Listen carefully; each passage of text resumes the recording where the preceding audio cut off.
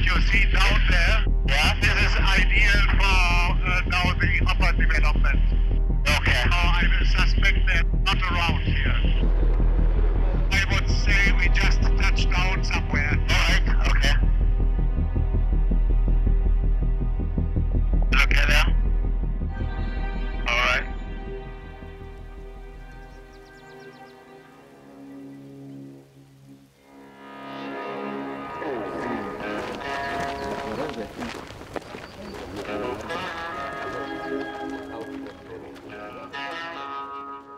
This is an event that is uh, very important for us today here.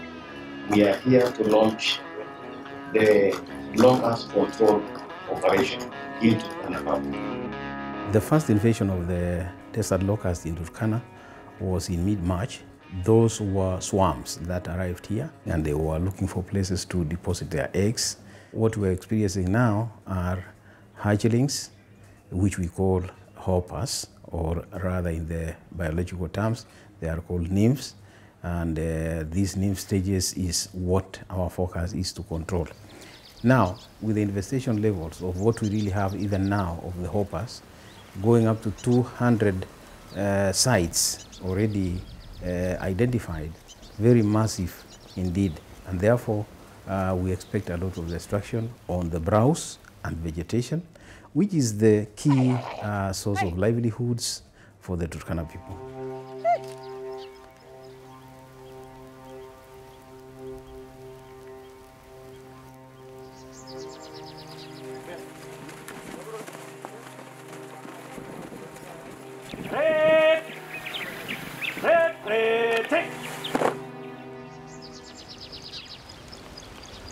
Yeah, you know, locusts come as a, an army. So when you want to go and fight an army, you have to be also go as an army.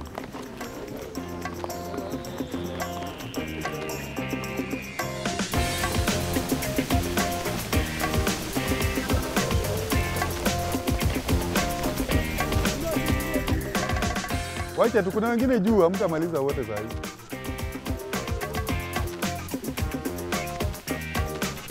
Haya,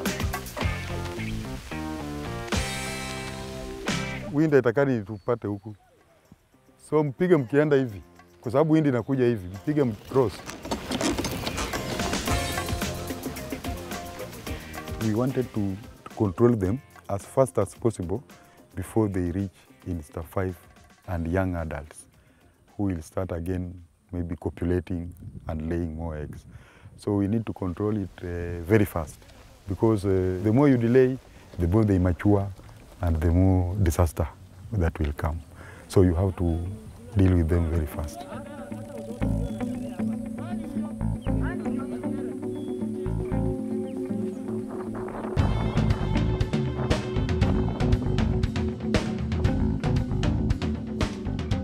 Uh, so far, we have already four teams.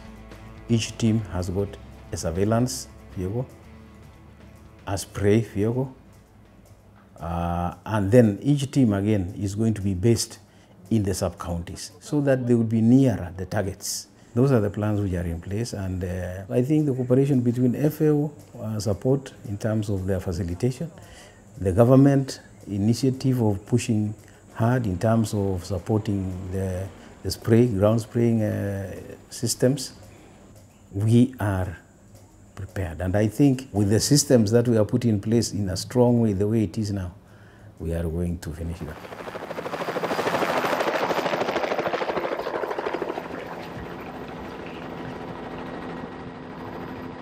Them. See them all on our asset? Um, we won't get out there. It's a very small group. I'm just going to let Boris target on E locus quickly.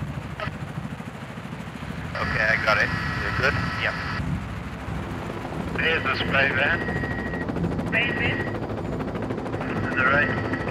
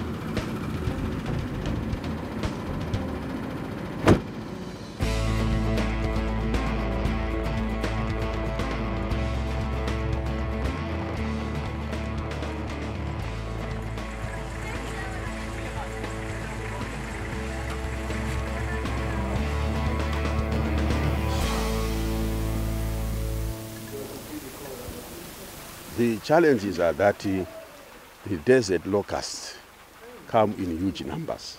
And if you delay the operations of controlling or containing them, either at a hopper stage, at a swarm stage, they can fly into another area and fly back.